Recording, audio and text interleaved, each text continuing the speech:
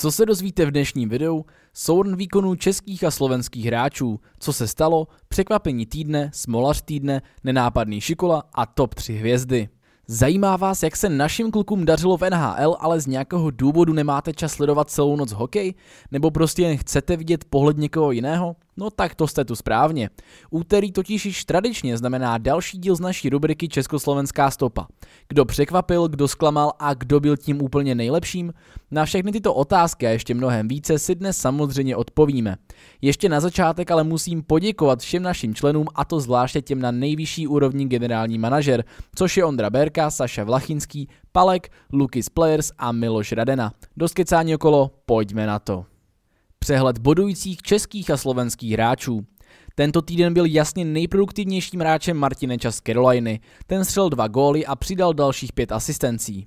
Po pěti bodech potom následuje Ondra Palát a Tomáš Tatar. Filip chytil po svém návratu po zranění zaznamenal 1 plus 2, což znamená 3 bodíky. Po dvou bodech na svém kontě poté má Filip Zadina, Radek Faxa, Dominik Kubalík, Jakub Vrána, David Pastrňák, Pavel Zacha a Kuba Voráček. Alespoň jeden bod se podařilo získat Liboru Hajkovi, Radko Gudasovi, Radimu Šimkovi, Davidu Krejčímu, Jano Rutovi, Eriku Černákovi, Andreji Sekerovi a Richardu Páníkovi. Přehled golmanů. Jak už to bývá zvykem, tak v tomto týdnu jsme viděli tři naše golmany v akci. David Rittich odchytal za Calgary dvě utkání, přičemž jedno prohrál a jedno vyhrál. Jeho průměrná úspěšnost byla 89,6%. Vítek Vaněček byl také v akci celkem dvakrát. Jednou vyhrál, poté prohrál. Jeho úspěšnost je pak na čísle 86,25%. Nejlepší čísla má tento týden však slovenský golman Jaroslav Halák. Ten sice odchytal pouze jedno utkání, za to vyhrál a má úspěšnost 96,9%. Co se stalo? Dominik Simon na waiver listině. Dominik Simon, opakuju se, ale za mě největší naše zklamání tohoto roku. Někteří mi už v komentářích argumentovali, jaké zklamání, vždyť nedostává prostor, nehraje. No jo, nehraje, ale proč asi?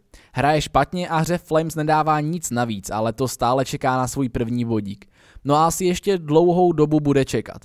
Calgary totiž došla trpělivost a mladého útočníka, který v minulých letech hrál i po boku Sydneyho Crosbyho, poslali na waiver listinu. Z té si ho samozřejmě nikdo nestáhla a Simon tak teď může být kdykoliv poslán klidně na farmu do Stockton Heat, kde mimo jiné válí i slovenské duo Pospíšil a Růžička. Probudí se podle vás ještě Dominik, nebo letošní rok jasně ukazuje, že na NHL asi nemá? Napište nám to dolů do komentářů. Mrázkův návrat se blíží. Po nějaké době tu máme opět informace i u Petru Mrázkovi a jeho návratu do hry. Ten totiž vypadá už dosti reálně. Pokud sledujete náš Discord server, víte, že Petr už týden trénuje s hlavním týmem a i s hokejkou v ruce. Dříve totiž trénoval bez ní, protože díky operovanému palci nemohl dobře držet. Generální manažer Don Vedl se dokonce vyjádřil, že je reálný návrat už v neděli proti Floridě. Nakonec se však tak nestalo a Mrázik údajně řekl na tréninku trenérovi Brindemourovi, že se ještě plně necítí. Návrat už je však za dveřmi a je to pouze otázka času. No a kdy podle vás nastoupí? A bude se mu dařit tak jako z úvodu letošního ročníku, když zaznamenal dvě čistá konta z pouhých tří duelů? Napište nám váš názor dolů do komentářů. Překvapení týdne. Kdo tento týden předvedl lepší výkon, než jsem já osobně čekal?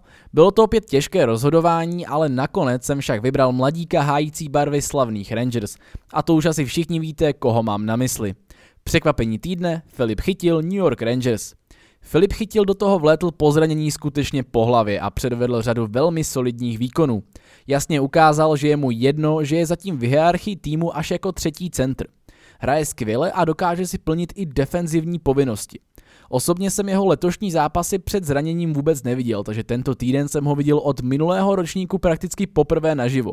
No a musím říct, že stejně jako jeho vrstevník Martin Nečas udělal taktéž obrovský pokrok. Tento týden 1 plus 2. Po zranění a ze třetí formace velmi slušná čísla. Těším se, co odchovanec z línského hokeje ukáže v následujících utkáních. Tento týden se mi totiž opravdu hodně líbil a hned v prvních zápasech mě příjemně překvapil. Smolař týdne. I tento týden se našlo pár našich hráčů, kteří by se rozhodně představovali lepší výkony. Nebyla to úplně nějaká bída a vyložené zklamání, ale určitě i oni sami ví, že umí zahrát lépe. Smolař týdne Filip Ronek, Detroit Red Wings. To, že je Filibronek spíše ofenzivním bekem, to asi nemusím zbytečně opakovat. Vedle defenzivní práce se tady čekají i nějaké ty bodíky. Upřímně řečeno, po loňském ročníku jsme jich čekali trošku více. Filip má sice zatím 10 asistencí, ale v této sezóně zatím ani jednou on sám neuklidil puk až za brankáře soupeře. A to mělo ní dokonce 10 přesných zásahů, ale to se čekalo opět pokoření této na obránce velmi slušné mety. Prostoru dostává dostatečně, pravidelně nastupuje v prvním obraném páru a i na přesilových hrách. Vůbec neříkám, že je Hronek zklamáním, jen si myslím, že hlavně z pohledu produktivity jsme čekali trošku více. Hlavně potom, jak nás loni navnadil. Smolař týdne Vítek Vaněček Washington Capitals. Vítek Vaněček si v našem pořadu už vyzkoušel být tou největší hvězdou, ale i smolařem a tento týden je tu opět, už po druhé.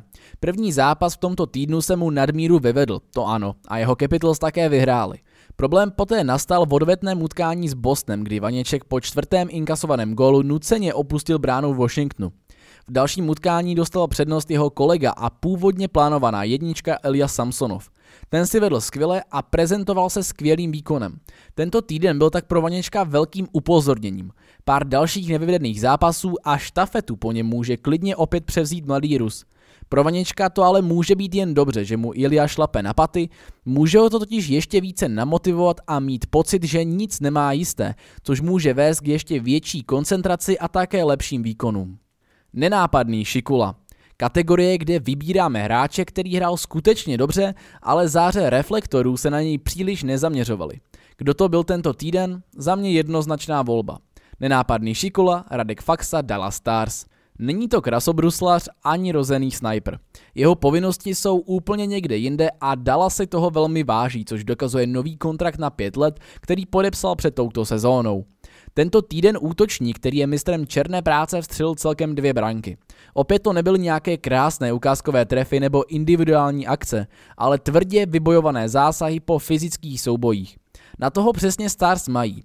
Center číslo jedna z něj asi nikdy nebude, i když to Stars i letos párkrát opět zkoušeli, on si ale své na oslabeních a ve třetí pětce skvěle odehraje. Top 3 hvězdy. Královská kategorie, kde se jen tak někdo nedostane. Kdo byl z pohledu českých a slovenských hráčů tím úplně nejlepším, kdo byl tou naší hvězdičkou v nejlepší lize světa, pojďme na to ale pěkně postupně. Třetí místo Tomáš Tatar Montreal Canadiens. Už minulý týden byl velmi zvláštní. Tomáš Tatar se totiž historicky poprvé v našem pořadu nezařadil mezi smolaře. Nebyl zařazen vlastně v žádné kategorii. Tento týden však jeho progres vykrystalizoval až ve třetí československou hvězdu tohoto týdne. Opět tomu sice chyběly góly, Tatar totiž pozbíral pouze pět asistencí, ale jde vidět, že elitní formace Hubs ve složení Tatar, Danault a Gallagher opět funguje. Snad už se ze svého smolného měsíce dostal a nakopne ho to k lepším výkonům. Hlavně loni totiž ukázal, jaké kvality vlastně skutečně má. Druhé místo Ondřej Palá, Tampa Bay Lightning – Absence Nikity Kučerova mu skutečně skvěle vyhovuje. Vlastně to i skvěle vyšlo. Palác se v minulém playoff skvěle rozjel a čekalo se, co předvede letos. Absence Kučerova mu do rukou přinesla i trochu jinou roli než v minulých sezónách. Už totiž nemusí být pouze tím, kdo spíše pracuje pro Stamkose, Kučerova či Pointa. Teď se hraje i na něj. V elitní formaci Lightning si skvěle rozumí se stále rostoucím pointem, no a skvěle mu to šlape i na přesilovkách. Vždyť se na to podívejte. Palát má v sezóně zatím 20 bodů, z toho dokonce 12 je z přesilových her. Tento týden nazbíral celkem 2 góly a 3 asistence, no a byl jednou z hlavních postav týmu sídlící na Floridě. První místo Martin Nečas Carolina Hurricanes. Pokud jsme mluvili o skvělém progresu Filipa Chytila, Martin Nečas udělal ještě větší posun ve své kariéře. Jakoby z převodového stupně 3 z ničeho nic zařadil pětku. Nejenom, že dopředu je daleko více kreativní, ještě více zdokonal své bruslení a herní přehled, začal být i velmi dobrý směrem dozadu, což dokazuje i jeho nasazování na oslabení. To byste od kluka, který byl od mládí kritizován za defenzivní hru, asi moc nečekali. Celá formace ve složení Nečas, Stroček, Niederreiter šlape jako hodinky, no a to opět nejen dopředu, ale i dozadu. Číslo X goal against, které značí kolik se předpokládá inkasovaných branek při jejich střídání, je z celého týmu na nejnižším čísle. K tomu jsou navíc i díky úžasnému Tročekovi skvěle produktivní. Nečas tento týden zaznamenal 7 bodů za 2 góly a 5 asistencí. Jeho skvělou formu potvrzuje i ocenění třetí hvězda týdne NHL. Nečas se totiž umístil hned za Markem Stonem a Thatcherem Demkem. Jen tak dal Martine, tohle byl skvělý týden. No a dostáváme se k závěru dnešního videa. Souhlasíte s mým výběrem nebo máte odlišný názor? Vaše výběry a poznámky určitě napište do komentářů, jsem zvědavý, jak to vidíte vy. Já vám každopádně děkuji, pokud jste toto video dokoukali až sem. Pokud se vám líbilo, budu moc rád, když označíte tlačítkem like a zanecháš u nás i odběr se zvonečkem. Ode mě je to každopádně úplně všechno a já se na vás těším u dalšího videa. Ahoj.